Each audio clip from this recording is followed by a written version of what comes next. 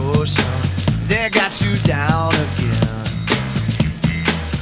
Pride and passion, physical attraction, whatever thing you're in. These sensations causing you frustrations.